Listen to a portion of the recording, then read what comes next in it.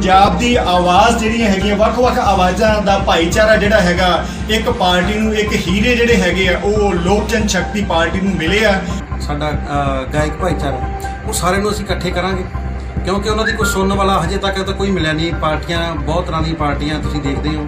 ਕਿਸੇ ਨੇ ਹਜੇ ਤੱਕ ਕੋਈ ਕਲਚਰਲ ਸੈੱਲ ਨਹੀਂ ਬਣਾਇਆ। ਮੋਗਾ ਵਿਖੇ ਲੋਕ ਜਨ ਸ਼ਕਤੀ ਪਾਰਟੀ ਵੱਲੋਂ ਇੱਕ ਪ੍ਰੈਸ ਕਾਨਫਰੰਸ ਹਰਮਿਲਾਪ ਸਿੰਘ ਜੀ ਦੇ ਦਫ਼ਤਰ ਵਿੱਚ ਕੀਤੀ ਗਈ, ਜਿਸ ਵਿੱਚ ਨੈਸ਼ਨਲ ਸੈਕਟਰੀ ਮਹਿਲਾ advocate Seema Rani, youth wing ਦੇ ਪੰਜਾਬ ਪ੍ਰਧਾਨ ਗੁਲਾਲ ਸਿੰਘ ਲਾਲੀ ਤੇ ਹੋਰ ਕਈ ਮੈਂਬਰ ਮੌਜੂਦ ਰਹੇ। ਇਸ ਮੌਕੇ voice of Punjab Darshanjit culture cell Punjab ਨੂੰ ਪ੍ਰਧਾਨ ਦਾ ਨਿਯੁਕਤੀ ਪੱਤਰ ਦਿੱਤਾ ਗਿਆ ਅਤੇ ਉਹਨਾਂ ਦੇ ਨਾਲ ਹਰ ਮਿਲਾਪ ਸਿੰਘ ਵਾਈਸ ਪ੍ਰਧਾਨ ਪੰਜਾਬ ਅਤੇ ਦੀਪਕ ਹੰਸ ਜਨਰਲ ਸੈਕਟਰੀ ਪੰਜਾਬ ਜਸਪਾਲ ਸਿੰਘ ਜ਼ਿਲ੍ਹਾ ਮੋਗਾ ਨੂੰ ਇੰਚਾਰਜ ਕਲਚਰ ਸੈੱਲ ਲਗਾਇਆ ਗਿਆ। ਇਸ ਮੌਕੇ ਮੈਡਮ ਸੀਮਾ ਰਾਣੀ ਨੇ ਸਾਰਿਆਂ ਨੂੰ ਸੰਬੋਧਨ ਕਰਦਿਆਂ ਕੀ ਕਿਹਾ ਆਓ ਸੁਣਦੇ ਹਾਂ। ਪੰਜਾਬ ਵੱਲੋਂ ਅਹ, ਦਰਸ਼ਨਜੀਤ ਜੀ ਇਹਨਾਂ ਨੂੰ ਅਪਾਇੰਟਮੈਂਟ ਲੈਟਰ ਦੇ ਰਹੇ ਕਲਚਰ ਸੈੱਲ ਦੇ president as uh culture cell president ਕਿਉਂਕਿ ਸਾਰੀਆਂ ਪਾਰਟੀਆਂ ਪੰਜਾਬ ਵਿੱਚ ਬਹੁਤ ਸਾਰੀਆਂ ਪਾਰਟੀਆਂ ਐਕਟਿਵ ਨੇ, ਪਰ ਕਿਸੇ ਨੇ ਵੀ ਅੱਜ ਤੱਕ ਕਲਚਰ ਸੈੱਲ ਦੀ ਗੱਲ ਨਹੀਂ ਕੀਤੀ, ਕਿਉਂਕਿ ਸਿੰਗਰ ਭਾਈਚਾਰਾ ਜੋ ਵੀ ਹੈ, ਉਹਨਾਂ ਨੂੰ ਬਹੁਤ ਸਾਰੀਆਂ ਮੁਸੀਬਤਾਂ ਦਾ ਸਾਹਮਣਾ ਕਰਨਾ ਪੈਂਦਾ ਹੈ। ਬਟ ਅਸੀਂ ਸੋਚਿਆ ਸਾਡੀ ਪਾਰਟੀ ਦਾ ਇੱਕ ਇਹ ਸੀਗਾ ਕਿ ਸਾਰੇ ਬੰਦੇ ਕਾਮਨ ਹਨ, ਸਾਰੇ ਇਕੁਅਲ ਹੈ, ਸਾਰਿਆਂ ਦੇ ਰਾਈਟਸ ਵੀ ਇਕੁਅਲ ਹੈ। ਇਸ ਲਈ ਉਹਨਾਂ ਦਾ ਵੀ ਇੱਕ ਸੰਗਠਨ ਹੋਣਾ ਚਾਹੀਦਾ ਹੈ, ਜੋ ਟਾਈਮ ਸਿਰ ਜਦੋਂ ਉਹਨਾਂ ਨੂੰ ਕਿਸੇ ਇੱਕ ਭਾਈ ਸਾਹਿਬ ਨੂੰ ਜ਼ਰੂਰਤ ਪਏ ਤਾਂ ਪੂਰਾ ਭਾਈਚਾਰਾ ਨਾਲ ਖੜਾ ਹੋ ਜੇ। ਇਸ ਲਈ ਇਹ ਜ਼ਰੂਰੀ ਬਣ ਗਿਆ ਸੀਗਾ ਕਿ ਸਾਡੇ ਪੰਜਾਬ ਦੇ ਜਿਹੜੇ ਸਿੰਗਰ ਹੈਗੇ ਆ, ਉਹਨਾਂ ਦੀ ਬਾਹ ਕੋਈ ਨਹੀਂ ਫੜਦਾ। ਉਹਨਾਂ ਦੀਆਂ ਜਿਹੜੀਆਂ ਉਹਨਾਂ ਦੇ ਰੂਟੀਨ ਵਿੱਚ ਜਾਂ ਕੋਈ ਵੀ ਉਹਨਾਂ ਨੂੰ ਦਿੱਕਤਾਂ ਆਉਂਦੀਆਂ, ਉਹਨਾਂ ਦਾ, ਉਹਨਾਂ ਨੂੰ ਇਨਸਾਫ ਨਹੀਂ ਮਿਲ ਪਾਉਂਦਾ। ਇਸ ਲਈ ਅਸੀਂ ਸਾਡੀ ਪਾਰਟੀ ਲੋਕ ਜਨ ਸ਼ਕਤੀ ਪਾਰਟੀ ਨੇ ਇਹ ਮੁੱਖ ਮਕਸਦ ਰੱਖਿਆ ਕਿ ਜੋ ਵੀ ਕਲਚਰ ਸੈੱਲ ਨੂੰ ਕੋਈ ਵੀ ਦਿੱਕਤ ਆਉਂਦੀ ਹੈ ਤੇ ਉਹ ਉਹਨਾਂ ਦੇ ਨਾਲ ਖੜੇ ਹੈ ਤੇ ਸਾਡਾ ਮੇਨ ਮਕਸਦ ਇਹ ਹੈ 2022 ਦੇ ਇਲੈਕਸ਼ਨ ਨੂੰ ਲੈ ਕੇ ਕਿ ਮੇਨ ਮੋਟਿਵ ਸਾਡਾ ਹੈਗਾ ਕਿ ਸਾਡਾ ਯੂਥ ਕਮਿਸ਼ਨ ਬਣਨਾ ਚਾਹੀਦਾ ਜੋ ਕਿ ਕਿਸੇ ਵੀ ਪਾਰਟੀ ਨੇ ਅੱਜ ਤੱਕ ਉਹਦੀ ਗੱਲ ਵੀ ਨਹੀਂ ਕੀਤੀ। ਚਾਹੇ ਉਹਨਾਂ ਨੂੰ ਸਾਡੇ ਦੇਸ਼ ਨੂੰ ਆਜ਼ਾਦ ਹੋਏ ਬਹੁਤ ਸਮਾਂ ਹੋ ਗਿਆ, ਪਰ ਜੋ ਯੂਥ ਹੈ ਉਸ ਦੀ ਗੱਲ ਕਿਸੇ ਪਾਰਟੀ ਨੇ ਨਹੀਂ ਕੀਤੀ ਅੱਜ ਤੱਕ। ਬਟ ਸਾਡੀ ਪਾਰਟੀ ਸਭ ਤੋਂ ਪਹਿਲਾਂ ਅਸੀਂ ਇੱਕ ਮੁੱਦਾ ਲੈ ਕੇ ਚੱਲੇ ਹਾਂ ਕਿ ਕਿ ਯੂਥ ਕਮਿਸ਼ਨ ਬਣਾਵਾਂਗੇ, ਪੰਜਾਬ ਨੂੰ ਬਚਾਵਾਂਗੇ, ਕਿਉਂਕਿ ਜੋ ਸਾਡਾ ਯੂਥ ਹੈ, ਉਹੀ ਸਾਡੀ ਰੀੜ ਦੀ ਹੱਡੀ ਹੈ, ਸਾਡੇ ਦੇਸ਼ ਦਾ ਥੰਮ ਹੈ। ਪਰ ਉਹੀ ਬਹੁਤ ਥਾਵਾਂ ਤੇ ਦੇਖਿਆ ਗਿਆ ਕਿ ਯੂਥ ਹੀ ਹਮੇਸ਼ਾ ਆਪਣੇ ਰਾਸਤੇ ਤੋਂ ਭਟਕ ਜਾਂਦਾ ਹੈ, ਕਿਉਂਕਿ ਉਹਨਾਂ ਨੂੰ ਪਹਿਲੀ ਗੱਲ ਉਹਨਾਂ ਨੂੰ ਕੋਈ ਸਮਝਾਉਣ ਵਾਲਾ ਨਹੀਂ ਹੈ। ਦੂਸਰਾ, ਉਹਨਾਂ ਕੋਲ ਰੋਜ਼ਗਾਰ ਨਹੀਂ ਹੈ। ਜੋ ਬੱਚੇ ਪੜ ਜਾਂਦੇ ਆ ਉਹ ਫਿਰ ਬਾਹਰ ਦਾ ਰੁੱਖ ਕਰ ਲੈਂਦੇ ਆ ਸਾਡੇ ਦੇਸ਼ ਵਿੱਚ ਕੋਈ ਵੀ ਕਿਸੇ ਤਰ੍ਹਾਂ ਦੀ ਨਹੀਂ ਰਹਿੰਦੀ ਮਤਲਬ ਸਾਰੇ ਜੋ ਵੀ ਹੈ ਬਸ ਉਹ ਭਟਕੇ ਉਹ ਭਟਕੇ ਹੋਏ ਲੋਕ ਜਿਵੇਂ ਆਪਾਂ ਉਹਨਾਂ ਨੂੰ ਕਹਿ ਸਕਦੇ ਹਾਂ, ਕਿਉਂਕਿ ਉਹਨਾਂ ਨੂੰ ਸਹੀ ਨਿਰਦੇਸ਼ ਮਿਲ ਹੀ ਨਹੀਂ ਰਿਹਾ। ਇਸ ਲਈ ਸਾਡੀ ਪਾਰਟੀ ਦਾ ਇਹੀ ਮੇਨ ਮਕਸਦ ਹੈ ਕਿ ਮਤਲਬ ਜੋ ਯੰਗ ਮੇਰੇ ਵੀਰ ਜੀ ਵਰਗੇ ਹੈਗੇ ਆ, ਉਹ ਸਾਡੇ ਨਾਲ ਆਣਗੇ ਤੇ ਪਾਰਟੀ ਨੂੰ ਇੱਕ ਨਵੀਂ ਮਤਲਬ ਸੋਚ ਮਿਲੂਗੀ, ਨਵਾਂ ਨਿਰਦੇਸ਼ ਮਿਲੂਗਾ। ਬਸ ਇੰਨਾ ਕਹਿੰਦੇ ਹੋਏ ਕੰਮ। ਇੱਕ ਜੀ, ਜਿਹੜਾ ਜਿਸ ਤਰ੍ਹਾਂ ਕਿ ਕਲਾਕਾਰਾਂ ਨੂੰ ਨਾਲ ਜੋੜਦੇ ਹੋ ਜਿਵੇਂ ਕਲਾਕਾਰ ਨੌਜਵਾਨ ਨੂੰ ਉਹਨੂੰ ਭੜਕਾਉਣ ਲਈ ਗਾਉਣ ਗਾਣੇ ਗਾਉਂਦੇ ਨੇ ਜਾਂ ਰਾਈਟਰ ਲਿਖਦੇ ਨੇ, ਜਿਸ ਤਰ੍ਹਾਂ ਚੱਕ ਲੋ ਰਫਲਾ ਜਾਂ ਮੋਟਰਸਾਈਕਲ ਲੈ ਕੇ ਟਾਕੇ ਪਾਉਣੇ ਇਦਾਂ ਦੇ ਗਾਇਕ ਕਲਾਕਾਰ ਆ, ਉਹਨਾਂ ਨੂੰ ਵੀ ਕੀ ਸੁਧਾਰ ਦੇ ਰਹੇ ਹੋ ਕੁਛ?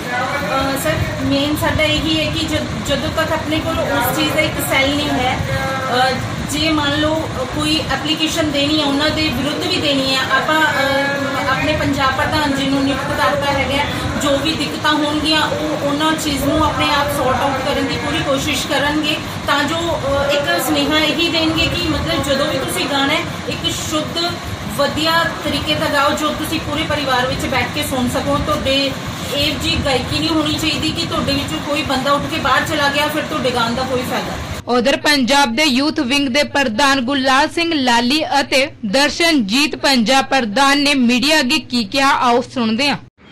ਮੈਂ ਗੁਰਲਾਲ ਸਿੰਘ ਲਾਲੀ, ਪ੍ਰਧਾਨ Lok Jan Shakti party, Punjab youth wing. ਅੱਜ ਅਸੀਂ ਮੋਗਾ ਦੇ ਵਿੱਚ ਹਰ ਮਿਲਾਪ ਜੀ ਦੇ ਦਫ਼ਤਰ ਦੇ ਵਿੱਚ ਇਕੱਤਰ ਹੋਏ ਹਾਂ ਔਰ ਇੱਥੇ ਅਸੀਂ ਜੋ ਸਾਡੇ ਪੰਜਾਬ ਕਲਚਰ ਸੈੱਲ ਦੇ ਪ੍ਰਧਾਨ ਦਰਸ਼ਨਜੀਤ ਜੀ ਜਿਨ੍ਹਾਂ ਨੂੰ ਸਾਡੇ ਰਾਸ਼ਟਰੀ ਅਧਿਕਸ਼ ਸਾਡੇ ਪ੍ਰਦੀਪ ਸਰ ਜੀ ਨੇ, ਸ਼ਰਮਾ ਜੀ ਨੇ ਇਹਨਾਂ ਨੂੰ ਅਪਾਇੰਟ ਲੈਟਰ ਜਿਹੜਾ ਹੈਗਾ ਦਿੱਤਾ। ਅੱਜ ਅਸੀਂ ਸਾਰੀ ਮੀਡੀਆ ਦੇ ਸਨਮੁਖ ਹੋਏ ਹਾਂ, ਕਿਉਂਕਿ ਅਸੀਂ ਅੱਜ ਪਰਮਾਤਮਾ ਦੇ ਸ਼ੁਕਰਗੁਜ਼ਾਰ ਹਾਂ ਤਾਂ ਕਿ ਸਾਡੀ ਪਾਰਟੀ ਦੇ ਵਿੱਚ ਇੱਕ ਹੋਣਹਾਰ ਕਾਬਲ ਵਾਇਸ ਆਫ ਪੰਜਾਬ ਦਰਸ਼ਨ ਜੀ, ਜਿਨ੍ਹਾਂ ਨੂੰ ਪੂਰੀ, ਮਤਲਬ ਕਿ ਪੂਰੇ ਪੰਜਾਬ ਨੇ ਦੂਸਰੇ ਵੱਖ-ਵੱਖ ਸਟੇਟਾਂ ਦੇ ਵਿੱਚ ਵੀ ਲੋਕ ਬਾਖੂਬੀ ਢੰਗ ਨਾਲ ਜਾਣਦੇ ਨੇ। ਔਰ ਅਸੀਂ ਅੱਜ ਦਰਸ਼ਨ ਜੀ ਜੀ ਨੂੰ ਵਧਾਈ ਦਿੰਦੇ ਆ ਜਿਨ੍ਹਾਂ ਨੇ ਪਾਰਟੀ ਦੇ ਵਿੱਚ ਆਪਣੀ ਬਹੁਤ ਵਧੀਆ ਜਿਹੜੀ ਹੈਗੀ ਆ ਐਂਟਰੀ ਮਾਰੀ ਆ ਔਰ ਇਹਨਾਂ ਨੇ ਆਪਦੇ ਵਿੰਗ ਦੇ ਨਾਲ ਨਾਲ ਹੋਰ ਵੀ ਬਹੁਤ ਸਾਰੇ ਸਾਥੀਆਂ ਨੂੰ ਜੁਆਇਨ ਕਰਵਾਇਆ, ਜਿਨ੍ਹਾਂ ਦੇ ਵਿੱਚ ਜਸਪਾਲ ਸਿੰਘ ਜੀ ਵਾਈਸ ਪ੍ਰੈਜ਼ੀਡੈਂਟ ਪੰਜਾਬ ਹਰਮਿਲਾਪ ਸਿੰਘ ਜੀ ਗਿੱਲ, ਜੋ ਬਹੁਤ ਅੱਛੀ ਪੰਜਾਬ ਮਤਲਬ ਗਾਇਕੀ ਦੇ ਮਾਲਕ ਨੇ ਔਰ ਬਹੁਤ ਵੱਡੀਆਂ ਵੱਡੀਆਂ ਸਟੇਜਾਂ ਜਿਹੜੀਆਂ ਅਗੇ ਕਰ ਚੁੱਕੇ ਨੇ।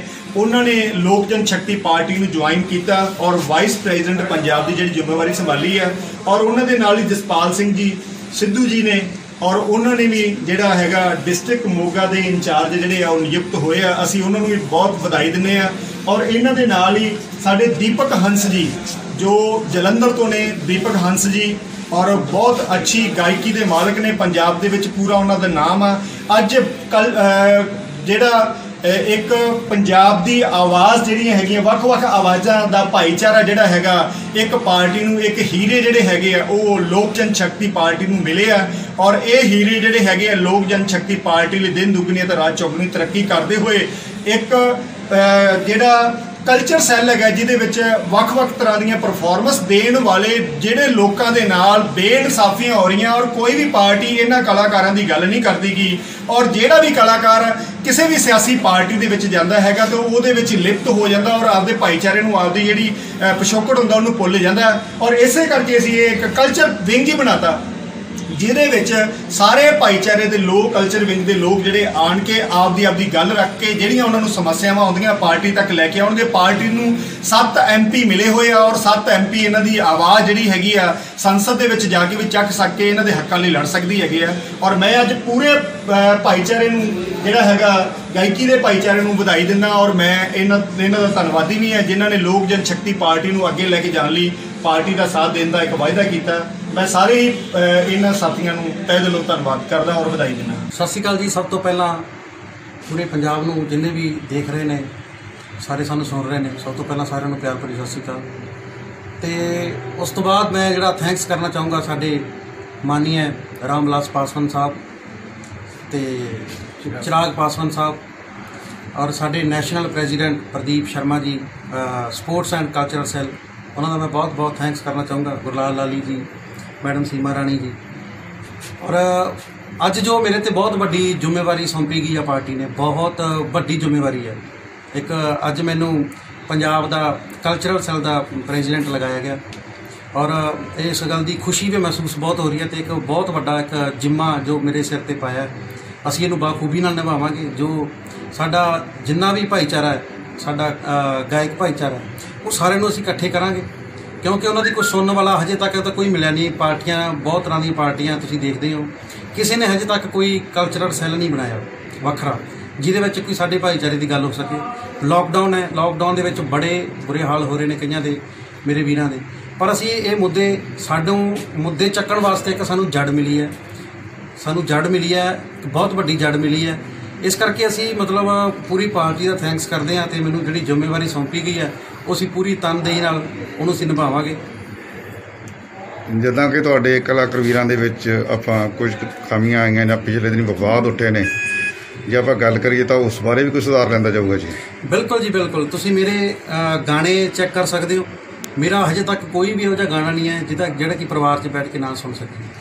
ਅਸੀਂ ਕੋਸ਼ਿਸ਼ ਕਰਾਂਗੇ ਵੀ ਇਹੋ ਜਿਹੇ ਗਾਣੇ ਲੋਕਾਂ ਨੂੰ ਸੁਣਾਏ ਜਾਣ ਕਿਉਂਕਿ ਲੋਕ ਜਿਹੜੇ ਕਲਾਕਾਰ ਹੁੰਦੇ ਨੇ ਕੋਈ ਮੋਨੀਟਰ ਹੁੰਦੇ ਨੇ।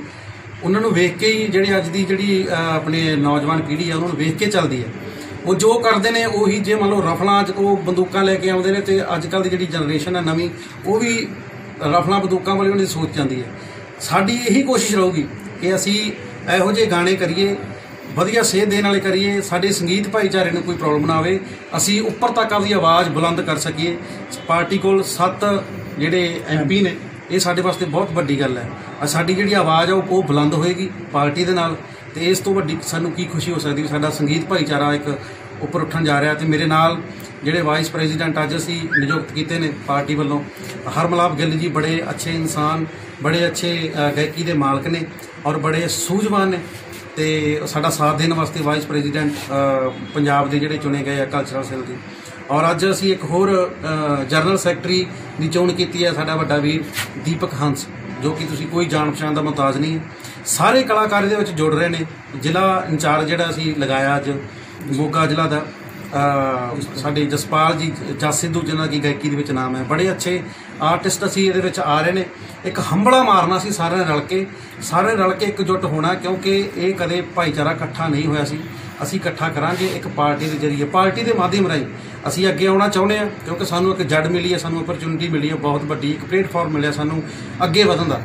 ਕਲਚਰਲ ਸੈੱਲ ਬਣਾਇਆ ਇਹਦੇ ਸਾਨੂੰ ਅਸੀਂ ਬੜੀ ਖੁਸ਼ੀ ਦੀ ਗੱਲ ਆ ਸਾਨੂੰ ਤੇ ਅਸੀਂ ਅੱਗੇ ਵਧਾਂਗੇ ਜੀ।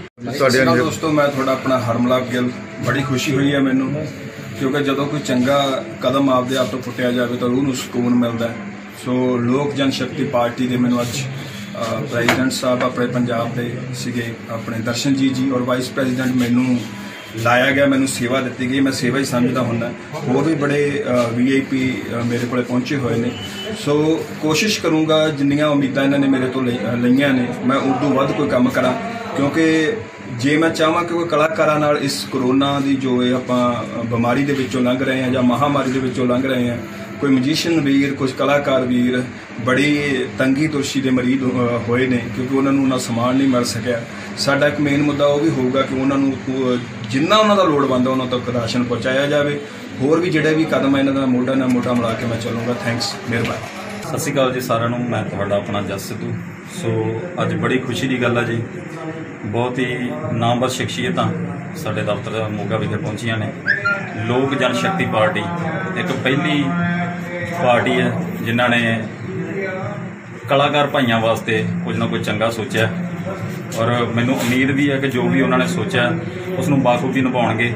ਔਰ ਸਾਡੇ ਪੰਜਾਬ ਦੇ ਜਿਹੜੇ ਪ੍ਰੈਜ਼ੀਡੈਂਟ ਨੇ ਭਾਈ ਦਰਸ਼ਨਜੀਤ ਜੀ, ਉਹਨਾਂ ਦੀ ਰਹਿਨਮਾਈ ਦੇ ਵਿੱਚ ਅੱਜ ਮੈਨੂੰ ਵੀ ਇੱਕ ਛੋਟੀ ਜਿਹੀ ਜੌਬ ਦਿੱਤੀ ਹੈ ਜ਼ਿਲ੍ਹਾ ਇੰਚਾਰਜ ਦੀ। ਸੋ ਜਿੰਨੀਆਂ ਕੁ ਉਮੀਦਾਂ ਪਾਰਟੀ ਨੇ ਮੇਰੇ ਤੋਂ ਲਾਈਆਂ ਨੇ, ਮੈਂ ਕੋਸ਼ਿਸ਼ ਕਰੂੰਗਾ ਵੱਧ ਤੋਂ ਵੱਧ ਮੈਂ ਉਹ ਨਿਭਾ ਸਕਾਂ, ਉਹਨਾਂ ਦੀਆਂ ਉਮੀਦਾਂ ਤੇ ਖਰਾ ਉਤਰ ਸਕਾਂ। ਬਹੁਤ ਬਹੁਤ ਮੈਂ ਧੰਨਵਾਦ ਕਰਦਾ ਪੂਰੀ ਲੋਕ ਜਨ ਸ਼ਕਤੀ ਪਾਰਟੀ ਦਾ। ਜਿਨ੍ਹਾਂ ਨੇ ਮੈਨੂੰ ਜ਼ਿਲ੍ਹਾ ਇੰਚਾਰਜ ਲਾਇਆ ਔਰ ਮੇਰੇ ਤੋਂ ਉਮੀਦਾਂ ਰੱਖੀਆਂ। ਔਰ ਬੜੀ ਵੱਡੀ ਗੱਲ ਹੈ ਕਿ ਪੰਜਾਬ ਦੇ ਵਿੱਚ ਬਹੁਤ ਸਾਰੀਆਂ ਰਵਾਇਤੀ ਪਾਰਟੀਆਂ ਨੇ। ਪਾਰਟੀਆਂ ਦੇ ਵਿੱਚ ਸਾਡੇ ਕਲਾਕਾਰ ਭਾਈਚਾਰੇ ਵੀ ਵਿੱਚ ਮੌਜੂਦ ਨੇ, ਮੰਤਰੀ ਨੇ। ਪਰ ਮੈਨੂੰ ਇਹ ਲੱਗਦਾ ਹੈ ਕਿ ਅੱਜ ਤੱਕ ਕਲਾਕਾਰਾਂ ਵਾਸਤੇ ਕਿਸੇ ਨੇ ਵੀ ਕੋਈ ਉਦਮ ਨਹੀਂ ਕੀਤਾ। ਔਰ ਪਹਿਲੀ ਇਹ ਪਾਰਟੀ ਹੈ ਜਿਨ੍ਹਾਂ ਨੇ ਸਪੈਸ਼ਲ ਇੱਕ ਸੈੱਲ ਬਣਾਇਆ। ਔਰ ਅਸੀਂ ਵੀ ਆਪਣੇ ਆਪ ਨੂੰ ਇਹ ਮਾ- ਮਾਣ ਮਹਿਸੂਸ ਕਰਦੇ ਹਾਂ ਵੀ ਅਸੀਂ ਵੀ ਕਿਸੇ ਸੈੱਲ ਦੇ ਵਿੱਚ ਆ ਗਏ ਹਾਂ। ਔਰ ਮੈਨੂੰ ਲੱਗਦਾ ਵੀ ਕਲਾਕਾਰ ਸਾਰੇ ਜਿੰਨੇ ਵੀ ਸਾਡੇ ਭਾਈਚਾਰੇ ਨਾਲ ਜੁੜੇ ਨੇ, ਸਾਰਿਆਂ ਨੂੰ ਇਸ ਗੱਲ ਦੀ ਖੁਸ਼ੀ ਹੋਊਗੀ ਔਰ ਵੱਧ ਤੋਂ ਵੱਧ ਇਸ ਪਾਰਟੀ ਦੇ ਨਾਲ ਜੁੜਨਗੇ, ਵੱਧ ਤੋਂ ਵੱਧ ਹੰਬਲਾ ਮਾਰ ਕੇ ਇਸ ਨੂੰ ਉੱਪਰ ਤੱਕ ਲੈ ਕੇ ਜਾਣਗੇ। ਬਹੁਤ ਬਹੁਤ ਧੰਨਵਾਦ ਜੀ ਥੈਂਕ ਯੂ ਪੰਡਿਤ ਪ੍ਰਦੀਪ ਪੜਿਆਲ, ਖਾਨਦਾਨੀ ਜੋਤਿਸ਼, ਸਟਾਰ ਪਲੱਸ ਵਾਲੇ, ਜੈਪੁਰ, ਰਾਜਸਥਾਨ, ਮੁੰਬਈ ਨੰਬਰ 98554 56026 98153 19424 ਫੋਨ ਤੇ ਘਰ ਬੈਠੇ ਤੁਰੰਤ ਪਾਓ, ਹਰ ਮੁਸ਼ਕਿਲ ਦਾ ਸਮਾਧਾਨ, ਗਰੰਟੀ ਨਾਲ। ਤੁਹਾਡਾ ਖੋਇਆ ਹੋਇਆ ਪਿਆਰ ਵਾਪਸ ਆ ਸਕਦਾ ਹੈ। ਵਿਆਹ 'ਚ ਰੁਕਾਵਟ ਦਾ ਹੋਣਾ, ਪਤੀ ਤੇ ਪ੍ਰੇਮੀ ਦਾ ਕਹਿਣੇ ਤੋਂ ਬਾਹਰ ਹੋਣਾ ਬਣਦੇ ਬਣਦੇ ਕੰਮਾਂ ਦਾ ਵਿਗੜ ਜਾਣਾ, ਲਾਟਰੀ ਨੰਬਰ ਪਾਓ, ਸੰਤਾਨ ਦਾ ਨਾ ਹੋਣਾ ਜਾਂ ਫਿਰ ਕਹਿਣੇ ਤੋਂ ਬਾਹਰ ਹੋਣਾ। ਫਿਲਮੀ ਤੇ ਰਾਜਨੀਤਿਕ ਕੈਰੀਅਰ, ਕੋਰਟ ਕਚਹਿਰੀ ਦੇ ਮਾਮਲੇ 'ਚ ਰੁਕਾਵਟ ਆਉਣਾ, ਮਹਿੰਗੇ ਉਪਾਅ ਕਰਨ ਵਾਲਿਆਂ ਤੋਂ ਰਹੋ ਸਾਵਧਾਨ। ਸਾਡੀ ਪੂਜਾ ਤੋਂ ਕਈ ਲੋਕ ਉਠਾ ਚੁੱਕੇ ਨੇ ਲਾਭ। ਹਰ ਮੁਸ਼ਕਿਲ ਦਾ ਹੱਲ ਪਾਉਣ ਲਈ ਇਹਨਾਂ ਨੰਬਰਾਂ ਤੇ ਇੱਕ ਵਾਰ ਜ਼ਰੂਰ ਕਰੋ ਸੰਪਰਕ। ਕੀ ਤੁਹਾਡਾ ਵਿਦੇਸ਼ ਵਿੱਚ ਘੁੰਮਣ ਦਾ ਹੈ ਸੁਪਨਾ? ਕੀ ਤੁਸੀਂ ਵਿਦੇਸ਼ ਵਿੱਚ ਪੜ੍ਹਨਾ ਚਾਹੁੰਦੇ ਹੋ ਜਾਂ ਫਿਰ ਵਿਦੇਸ਼ ਜਾ ਕੇ ਵਸਣ ਦਾ ਹੈ ਇਰਾਦਾ ਜਾਂ ਰਿਫਿਊਜ਼ਲ ਦਾ ਕਰ ਰਹੇ ਹੋ ਸਾਹਮਣਾ? ਤਾਂ ਇੱਕ ਹੀ ਭਰੋਸੇਯੋਗ ਨਾਮ ਹੈ SE international immigration consultant private limited tourist visa study visa PR ਅਤੇ ਹਰ ਤਰ੍ਹਾਂ ਦੇ ਵੀਜ਼ੇ ਦਾ ਮਾਮਲਾ ਕੈਨੇਡਾ USA ਆਸਟ੍ਰੇਲੀਆ UK ਅਤੇ ਨਿਊਜ਼ੀਲੈਂਡ ਤਾਂ ਤੁਹਾਡਾ ਰਾਹਗੀਰ ਬਣੇਗਾ SE international immigration consultant private limited. ਸੰਪਰਕ ਕਰੋ 73407 37362 73407 37369 ਜਦੋਂ ਸਮੱਸਿਆ ਦਾ ਹੈ ਹੱਲ, ਫਿਰ ਕਿਉਂ ਹੋ ਪਰੇਸ਼ਾਨ? ਜਿਵੇਂ ਮਨ ਚ ਆਇਆ ਪਿਆਰ, ਪਤੀ ਪਤਨੀ ਚ ਅਣਬਣ, ਕਾਲੇ ਜਾਦੂ ਦਾ ਖਾਤਮਾ, ਵਸ਼ੀਕਰਨ, ਲਾਟਰੀ ਨੰਬਰ ਪਾਓ, ਪਿਆਰ ਵਿੱਚ ਧੋਖਾ ਖਾਦੇ ਹੋਏ ਪ੍ਰੇਮੀ ਪ੍ਰੇਮਿਕਾ ਇੱਕ ਵਾਰ ਜ਼ਰੂਰ ਮਿਲੋ। ਸੰਪਰਕ ਕਰੋ ਵਿਸ਼ਵਨਾਥ ਤਾਂਤਰਿਕ। ਤੁਸੀਂ ਸੰਪਰਕ ਕਰ ਸਕਦੇ ਹੋ 90244 70842 ਮੈਂ ਆਪਣੇ ਇਹ ਮੋਢਿਆਂ ਤੇ ਗੋਡਿਆਂ ਤੋਂ ਬਹੁਤ ਦੁਖੀ ਸੀ। ਮੇਰੇ ਲਈ ਤਾਂ ਤੁਰਨਾ ਫਿਰਨਾ ਵੀ ਇੰਨਾ ਔਖਾ ਹੋਇਆ ਸੀ, ਮੈਂ ਦੱਸ ਵੀ ਨਹੀਂ ਸਕਦਾ।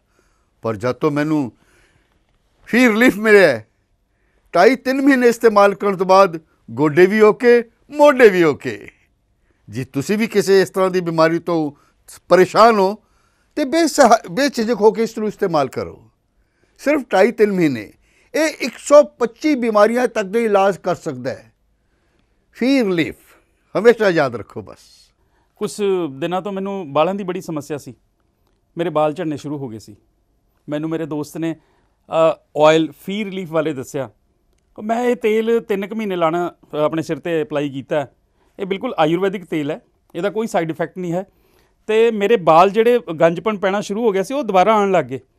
ਤੇ ਮੈਨੂੰ ਤਾਂ ਬੜਾ ਫਾਇਦਾ ਦਿੱਤਾ ਇਸ ਨੇ ਜੇ ਤੁਹਾਨੂੰ ਵੀ ਕਿਸੇ ਇਸ ਤਰ੍ਹਾਂ ਦੀ ਪ੍ਰੋਬਲਮ ਦਾ ਤੁਸੀਂ ਸਾਹਮਣਾ ਕਰ ਰਹੇ ਹੋ, ਤਾਂ ਇਹ ਤੇਲ ਲਾਣਾ ਨਾ ਭੁੱਲੋ। ਕਿਤੇ ਨਾ ਕਿਤੇ ਅਸੀਂ ਆਪਣੇ ਬਾਲਾਂ ਕਰਕੇ ਸ਼ਰਮ ਫੀਲ ਕਰਦੇ ਹਾਂ ਕਿ ਸੋਸਾਇਟੀ 'ਚ ਬੈਠੇ ਹਾਂ ਕਿ ਕੋਈ ਮਜ਼ਾਕ ਨਾ ਕਰ ਰਿਹਾ ਹੋਵੇ ਪਰ ਥੈਂਕਸ ਟੂ ਫ੍ਰੀ ਲੀਵ ਜਿਨੇ ਮੇਰਾ ਇਹ ਕੌਨਫੀਡੈਂਸ ਬਿਲਡ ਕੀਤਾ, ਜਿਹਦੇ ਲਗਾਨ ਨਾਲ ਮੈਂ ਮਾਰਕੀਟ 'ਚ ਹੁਣ ਬੜਾ ਹੀ ਕੌਨਫੀਡੈਂਟ ਹਾਂ ਔਰ ਇਹਦੇ ਨਾਲ ਮੈਨੂੰ ਬੜਾ ਫਾਇਦਾ ਹੋਇਆ ਤੇ ਮੈਨੂੰ ਸਰਵਾਈਕਲ ਦੀ ਵੀ ਦਿੱਕਤ ਸੀ ਤੇ ਉਹਦੇ ਨਾਲ ਵੀ ਮੈਨੂੰ ਬੜਾ ਰਿਲੀਫ ਮਿਲਿਆ। ਇਹ ਯੂਜ਼ ਕਰੋ ਤੇ ਮੈਂ ਪ੍ਰੈਕਟੀਕਲ ਯੂਜ਼ ਕਰ ਰਿਹਾ।